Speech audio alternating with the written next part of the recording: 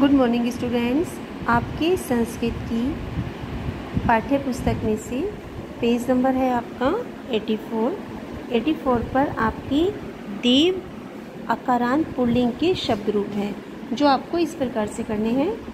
आपको पहले इसको लर्न करना है, फिर संस्कृत की नोटबुक में लिख कर देखना है।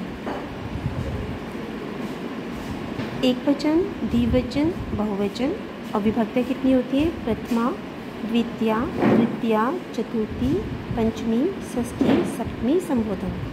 इसको जिस तरह से लर्न करते हैं उस तरह से ही देव है विसर्ग आएँगे ऐसे ही उच्चारण होगा। देव, देवहु, देवहा। देवम देवहु, देवान।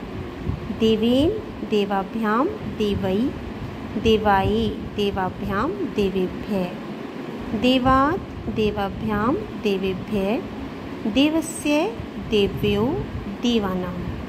देवे देव्यो देवेषु हे देव हे देवहु हे देव। प्रथमा एक वचन द्विवचन और बहुवचन।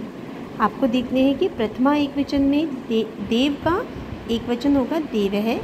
अगर दो हैं तो देवहु अगर दो से अधिक हैं तो देवहा इस प्रकार विभक्ति के अनुसार ही पुल्लिंग, अकारांत दीप शब्द के शब्द चले हैं। इनको आपको इसी तरह से लर्न करना है लिख कर देखना है। संस्कृत की नोटबुक में ये आपकी कक्षा कार्य है, कक्षा में इसको आपसे सुना जाएगा।